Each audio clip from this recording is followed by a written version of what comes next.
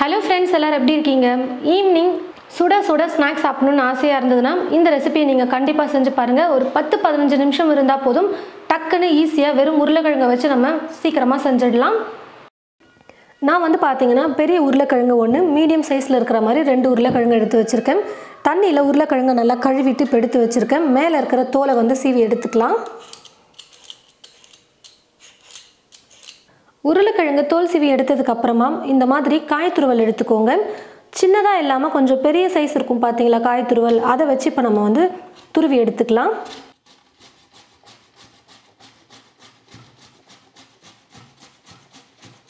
இந்த மாதிரி உருளைக்கிழங்கை துருவி எடுத்ததுக்கு அப்புறமா ஒரு பாத்திரத்தில் தண்ணி எடுத்துக்கிட்டு அந்த தண்ணியில் இந்த உருளைக்கிழங்கு சேர்த்துடலாம்.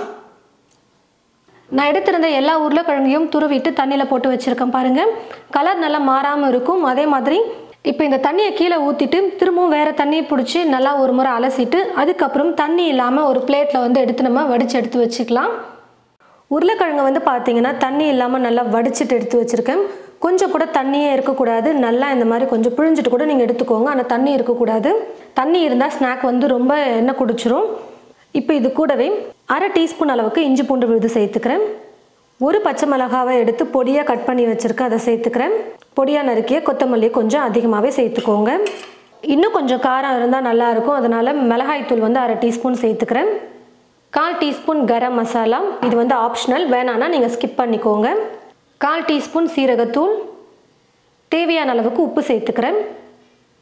நார்மலாக நம்ம யூஸ் பண்ணுற ஸ்பூன்லேயே வந்து பார்த்தீங்கன்னா இந்த மாதிரி கொஞ்சம் கோபுரமாக ரெண்டு டீஸ்பூன் அளவுக்கு மைதா மாவு சேர்த்துக்கோங்க. மைதா மாவு வந்து பார்த்தீங்கன்னா கொஞ்சம் பைண்டிங்காக இருக்கும். உருளைக்கிழங்கு எல்லாத்தையும் நல்லா ஒன்றா சேர்க்கறதுக்காக நம்ம வந்து மைதா மாவு சேர்க்குறோம். உங்களுக்கு பிடிக்கலனா கூட ஸ்கிப் பண்ணிக்கலாம். அதுக்கு பதிலாக நீங்கள் கடலை மாவு இல்லைன்னா அரிசி மாவு கூட சேர்த்துக்கோங்க. கொஞ்சம் மொறுமொறுப்பாக இருக்கணும் ஸ்நாக் அப்படிங்கிறதுனால கூடவே கார்ன்ஃப்ளாரையும் நான் சேர்த்துக்க போகிறேன் மூணு டீஸ்பூன் அளவுக்கு இந்த மாதிரி ஸ்பூன் ஃபுல்லாக கொஞ்சம் கோபுரமாக எடுத்து சேர்த்துக்கோங்க. எல்லாத்தையும் சேர்த்து நல்லா மிக்ஸ் பண்ணிக்கலாம். உருளைக்கிழங்குல ஈரப்பதம் அதிகமாக இருக்கிறதுனால தண்ணியெல்லாம் எக்ஸ்ட்ரா எதுவுமே சேர்க்கக்கூடாது. நல்லா இதை மட்டும் உருளைக்கிழங்கோட சேர்த்து கலந்து கொடுத்துக்கணும். முடிஞ்ச அளவுக்கு உருளைக்கிழங்க தண்ணி இல்லாமல் நல்லா வடித்து எடுத்துக்கணும்.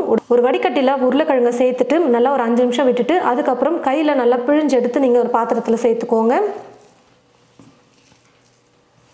எல்லாத்தையும் சேர்த்து நல்லா கலந்து கொடுத்தாச்சு. இப்போ பார்க்குறதுக்கு கொஞ்சம் உதிரி உதிரியாக இருக்கிற மாதிரி தான் இருக்கும். ஆனால் நம்ம எடுத்து எண்ணெயில் போடுறதுக்கு கரெக்டாக இருக்கும் பாருங்கள் நம்ம கார்ன்ஃப்ளவர் மைதா மாவு சேர்த்துருக்கிறதுனால நல்லா ஒட்டி இருக்கும். ஆனால் கொஞ்சம் இந்த மாதிரி மெல்லிஸ் மெல்லிஸாக சின்ன சின்னதாக எடுத்து எண்ணெயில் போட்டு ஃப்ரை பண்ணோம்னா சீக்கிரமாக வெந்து வந்துடும் கிறிஸ்பியாகவும் இருக்கும். அதனால் இந்த கன்சிஸ்டன்சிக்கு நீங்கள் மாவை போட்டு மிக்ஸ் பண்ணிங்கன்னா கரெக்டாக இருக்கும். பாருங்கள் இந்த மாதிரி எடுத்து எண்ணெயில் போடுறதுக்கு கரெக்டான பதம். கடையில் எண்ணெய் ஊற்றி வச்சுட்டா எண்ணெய் காஞ்சிருச்சா இல்லையான்னு சொல்லிட்டு கொஞ்சமாக உருளைக்கிழங்கு எடுத்து நம்ம போட்டு பார்க்கலாம். எண்ணெய் வந்து பார்த்தீங்கன்னா காஞ்சி வந்துருச்சு. இப்போ கொஞ்சம் கொஞ்சமாக நம்ம மிக்ஸ் பண்ணி எடுத்து வச்சுருக்கிற உருளைக்கிழங்கு எடுத்து எண்ணெயில் போட்டு ஃப்ரை பண்ணிக்கலாம். ரொம்ப மொத்தமாக போடாமல் கொஞ்சம் தட்டையாக போடும்போது நல்லா கிறிஸ்பியாக இருக்கும் சாப்பிட.